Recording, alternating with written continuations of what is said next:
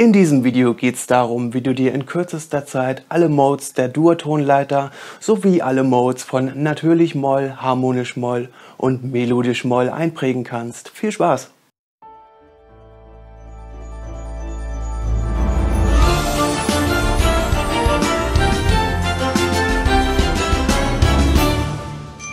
Moin Moin und herzlich willkommen hier auf diesem Kanal. Hier findest du regelmäßig alles zum Thema Musiktheorie, Komposition und Arrangement.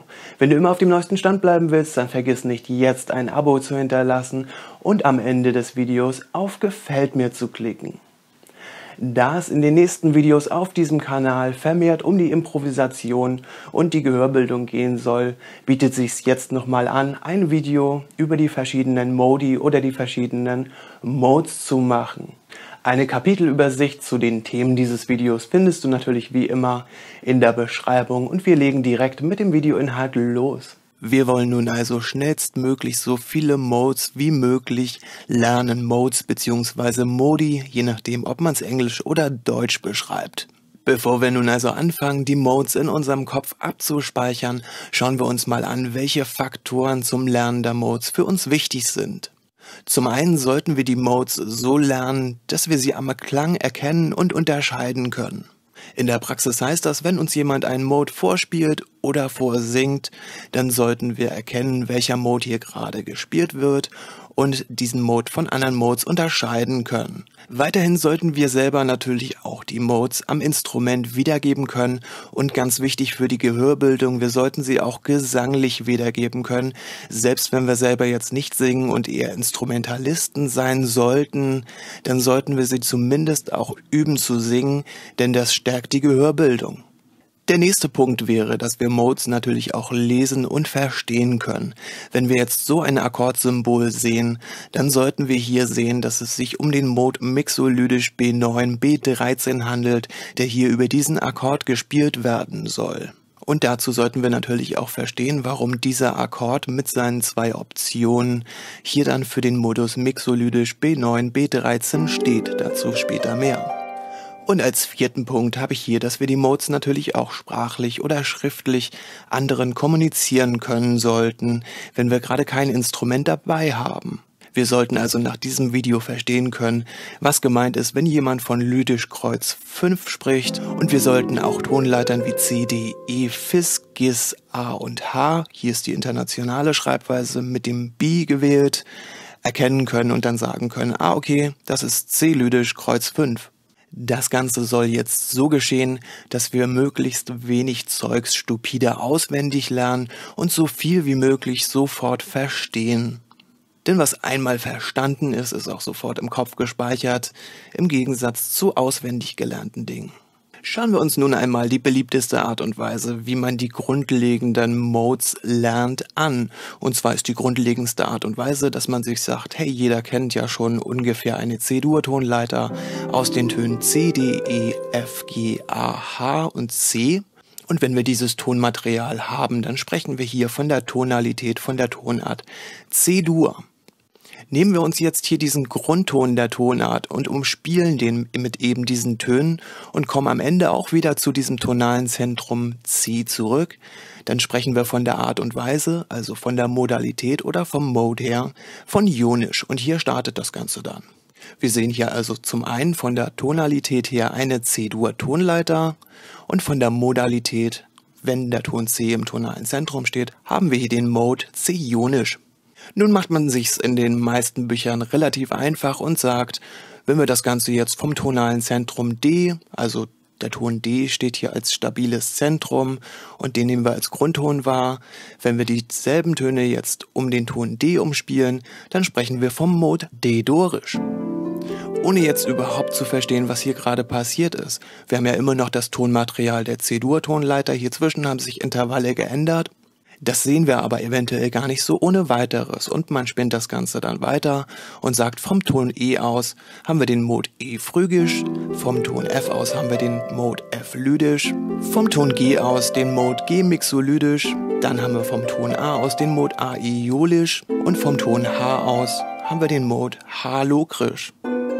Problem an der ganzen Geschichte ist jetzt, dass wir eigentlich noch gar nicht so richtig gelernt haben, weil wir nicht wirklich wissen, was die unterschiedlichen Modes voneinander unterscheidet. Wenn wir jetzt sagen, okay, ich spiele jetzt mal einfach den Mode C-Ionisch, dann spiele ich D-Dorisch, dann E-Phrygisch, dann hören wir im Ganzen eigentlich immer noch die Tonalität C-Dur. Das sind ja alles hier Töne aus der Tonart C-Dur und wir sind stark dahin getrimmt, von der Tonalität her auf C-Dur zu achten und weniger auf die Modalität.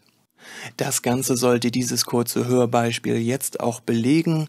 Du siehst hier jeweils einen Takt C-Ionisch, dann einen Takt D-Dorisch, einen Takt E-Phrygisch. Es wird das Tonmaterial immer jeweils vom ersten bis zum siebten Ton dieser Tonleiter gespielt als Septole, also sieben Noten auf einer Viertelnote und dann wird das Ganze wiederholt und dann haben wir hier C-Ionisch und hier D-Dorisch und du wirst eher im Ganzen die Tonart C-Dur wahrnehmen als die einzelnen Modes und was sie charakteristisch voneinander unterscheidet. Hier das Beispiel.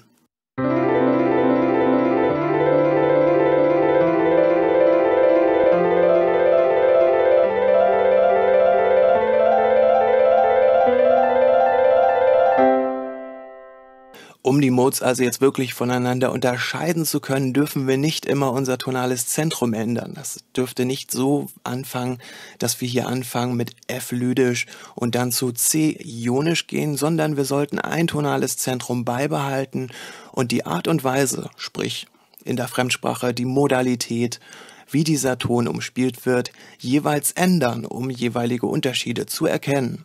Und genau das ist hier passiert. Hier sind ein paar Modes mehr noch drin, als wir sie zuvor hatten. Und die Modes sind auch ein bisschen anders angeordnet, nämlich vom hellsten Mode zum dunkelsten Mode hier unten. C alteriert aus melodisch Moll 7 Dazu kommen wir am Ende nochmal und dann moduliert das Ganze hier nach Zessionisch beziehungsweise nach H-Dur. Und in diesem Hörbeispiel können wir tatsächlich die Modes voneinander unterscheiden in ihrem charakteristischen Klang.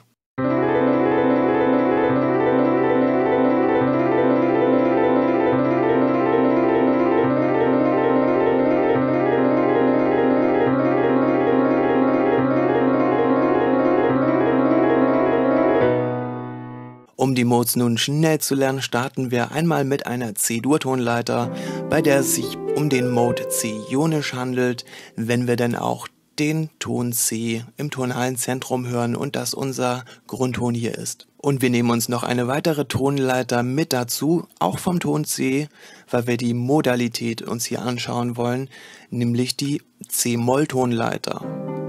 Der Unterschied zwischen Dur- und Molltonleiter, den siehst du hier gerade schon.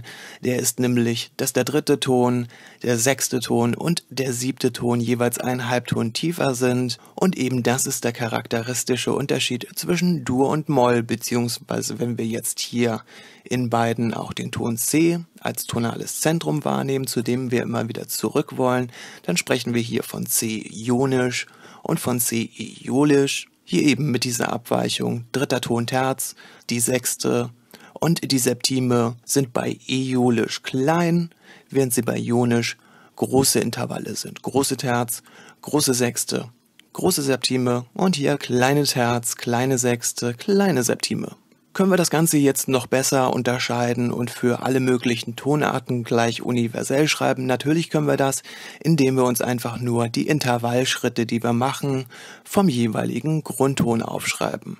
Für Dur schreiben wir jetzt einfach 1, 2, 3, 4, 5, 6, 7 und diese Zahlen stehen für eine reine Prime, das wäre in C-Dur unser Ton C bzw. in C-Ionisch, dann eine große Sekunde, eine große Terz, eine reine Quarte, eine reine Quinte, eine große Sechste und eine große Septime. Wir haben hier also in Ionisch nur reine und große Intervalle. Für eine Molltonleiter müssten die Intervallschritte jetzt also vom Grundton aus 1, 2, B3, 4, 5, B6, B7 sein. Und auch das fügen wir hier hinzu und jetzt könnten wir für jede Tonart schon mal den Modus Ionisch und den Modus Äolisch um jedes tonale Zentrum herumstricken. Wollen wir jetzt zum Beispiel G-Iolisch spielen, dann hätten wir hier natürlich den Grundton G, dann müssten wir vom G eine große Sekunde weitergehen zum Ton A, dann vom Grundton aus eine kleine Terz weiter zum B, eine reine Quarte vom G aus zum C, eine reine Quinte zum D, eine kleine Sechste zum S und eine kleine Septime zum F. Schon haben wir G Iolisch. Nun haben wir also den Modus Ionisch und den Modus Äolisch hier schon einmal gelernt und können beide Modes bzw. Modi an ihren Versetzungszeichen hier unterscheiden voneinander. Die nächsten Modes wollen wir jetzt jeweils immer so unterscheiden, dass wir sagen, ist dieser Mode jetzt eher ein Dur-ähnlicher Mode, also ähnlich zu Ionisch, oder ist dieser Mode eher ein Moll-ähnlicher Mode?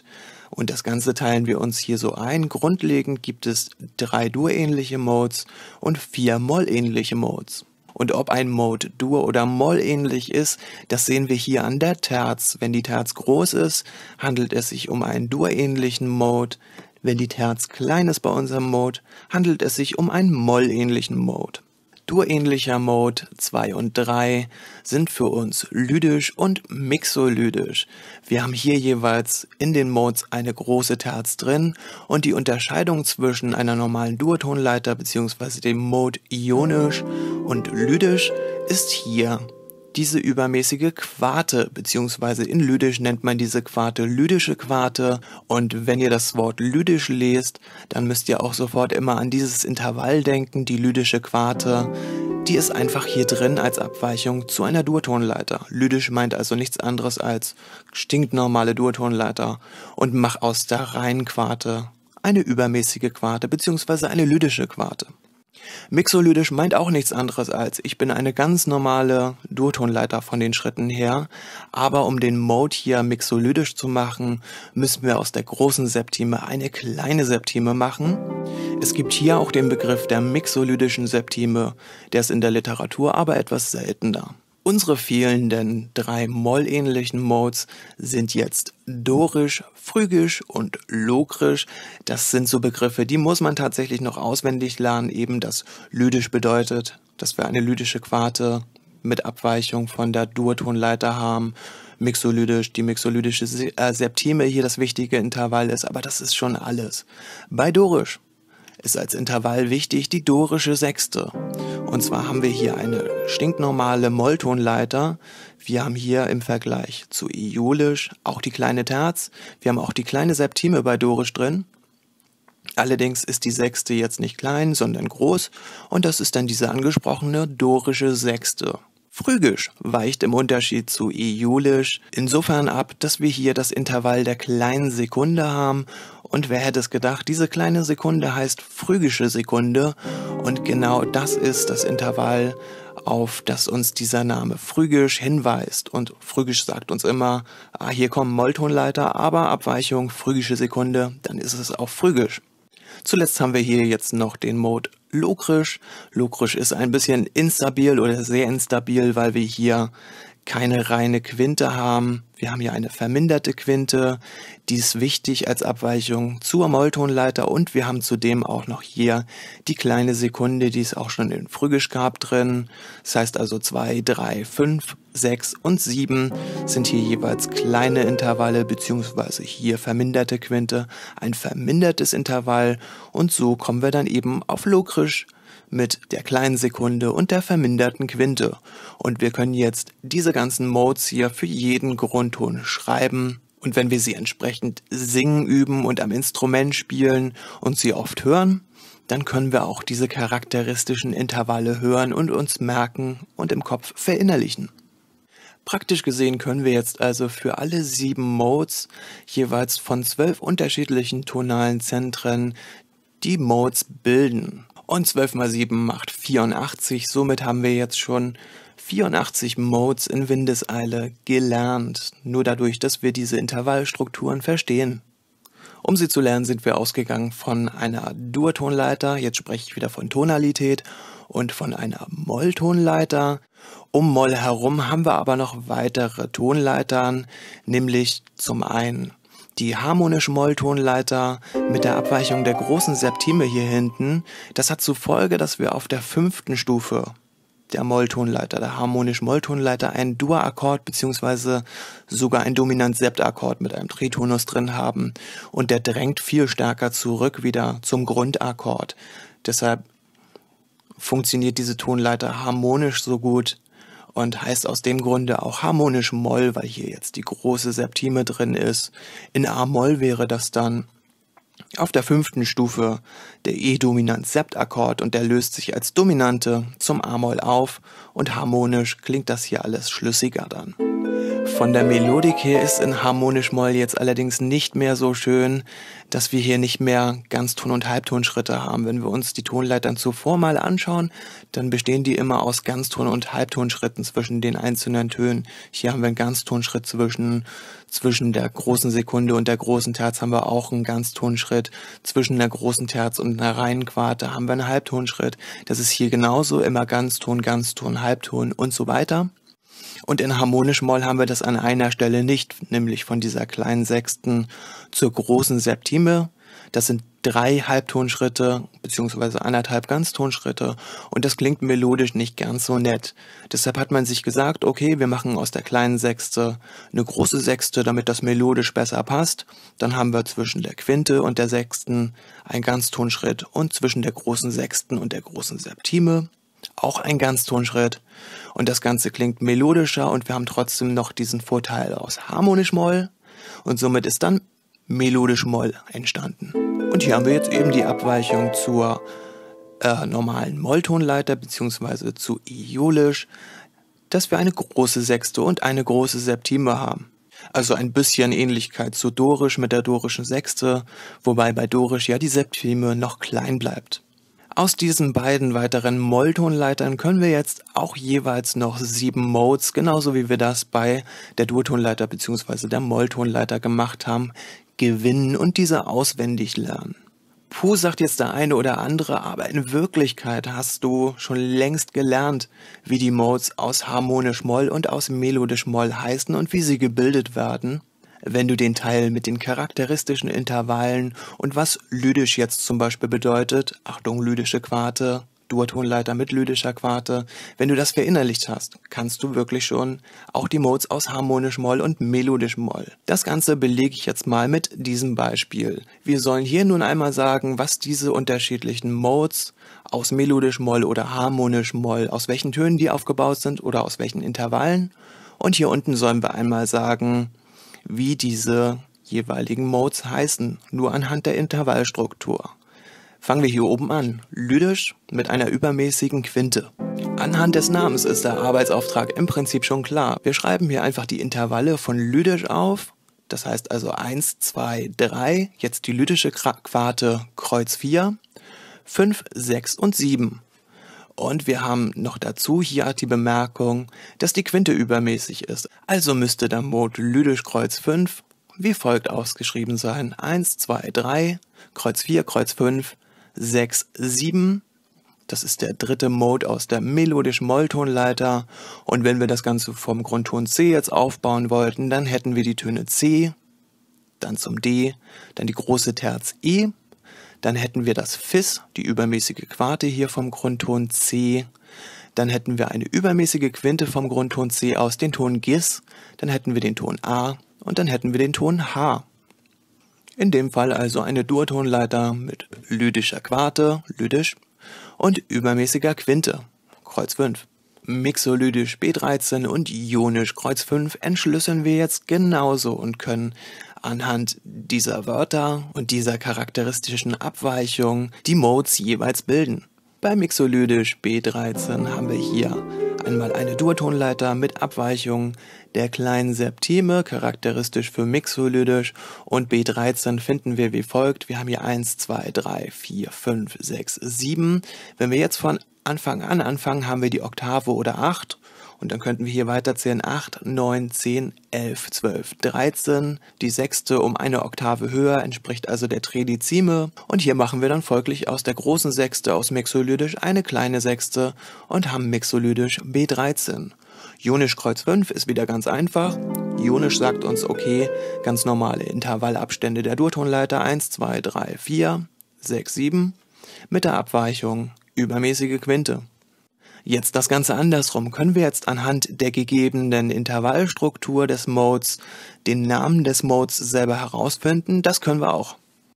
Zunächst einmal können wir herausfinden, ob wir hier einen Dur- oder Moll-ähnlichen Mode haben. Die Terz ist klein, wir haben hier eine kleine Terz in diesem Mode, also muss er Moll-ähnlich sein.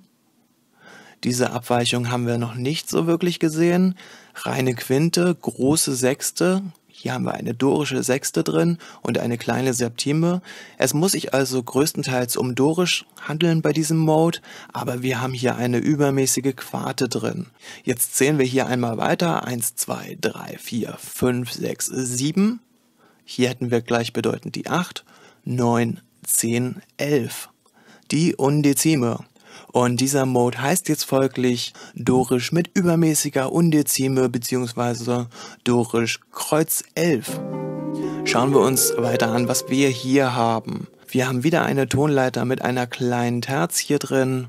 Es ist also eine mollähnliche Tonleiter. Weiterhin haben wir hier eine kleine Sekunde. Oh, könnte das phrygisch sein? Die reine Quarte haben wir auch, könnte immer noch phrygisch sein. Wir haben aber auch noch eine reine Quinte. Oh, das muss lokrisch sein, können wir jetzt schon sagen. Hier haben wir auch noch die kleine Septime. Aber wir haben hier eine große Sechste und in lokrisch haben wir eine kleine Sechste. In dem Fall sprechen wir hier nicht von lokrisch, sondern von lokrisch 6, also lokrisch mit einer großen Sechsten, was wir hier eben auch vorfinden. Was haben wir hier unten? Hier unten haben wir auch wieder einen mollähnlichen Mode. Hier könnten wir auch wieder eine phrygische Sekunde haben. Reine Quarte, das ist alles soweit gut. Reine Quinte kann schon mal nicht lokrisch sein. Eine große Sechste, hm, ist das vielleicht dorisch mit einer kleinen Sekunde? Oder ist das phrygisch mit dieser phrygischen Sekunde, phrygisch mit großer Sechste? Und hier geht praktisch beides. Im Deutschen verwenden wir für diese, um diesen Mode zu bezeichnen, eher dorisch B2 also dorisch mit phrygischer Sekunde, und international spricht man hier von phrygisch 6. Und beide Bezeichnungen drücken das aus, was hier steht, und sind jeweils richtig.